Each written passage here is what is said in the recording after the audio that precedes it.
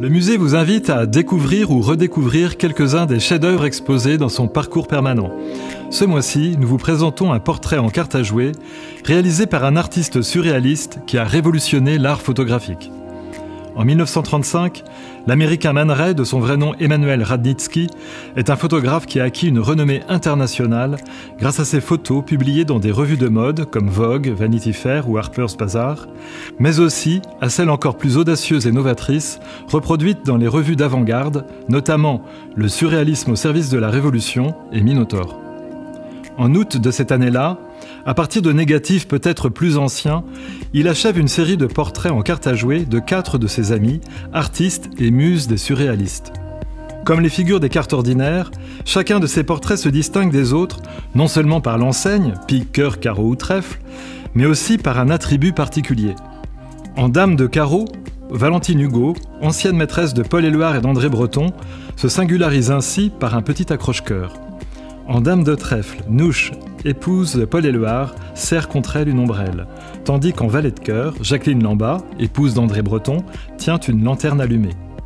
On notera sur cette carte que l'index, la petite lettre qui indique la valeur de la carte, n'est pas Q pour Queen, la dame, mais J pour Jack, le valet des jeux anglo-saxons, figure androgyne donc, qui relie ici la compagne du mentor du surréalisme avec l'homme que, disait-il, il aimait le plus au monde, Jacques Vacher. Enfin, en Dame de pique, Lise de Harme, la dame au gant du récit de breton Nadja, est affublée d'un mystérieux bras en bois. Cet accessoire, dans lequel il faut peut-être entendre un jeu de mots avec arme en anglais, avait déjà été photographié par Man en 1933 dans une composition reproduite en frontispice de la revue Minotaur. On peut voir dans ces portraits l'influence des cartes postales photographiques de Léopold-Émile Reutlinger, édité à Berlin vers 1905 et représentant des artistes des Folies Bergères en cartes à jouer. Paul Éluard en possédait des exemplaires qui ont été reproduits dans le numéro du Minotaure déjà évoqué. Man Ray fit un large usage des techniques employées, bien avant le cinéma ou la presse illustrée, dans la fabrication des cartes postales. Surimpression, dédoublement, déformation optique, retouches sur négatif, collage, au profit d'un large registre d'effets visuels inhabituels. Le recours au bricolage, impliquant une intervention complexe du photographe au moment du tirage, donnant à ces photomontages un surcroît de valeur, est sensible sur la carte de liste de Harme.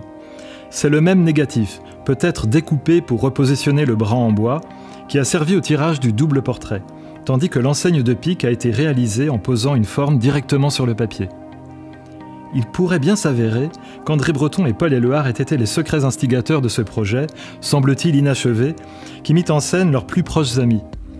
Quelques années plus tard, Lise de Harme y fit référence en mettant une photographie ornée de sa dame, par Claude Cahin, en couverture de son recueil Le cœur de pique.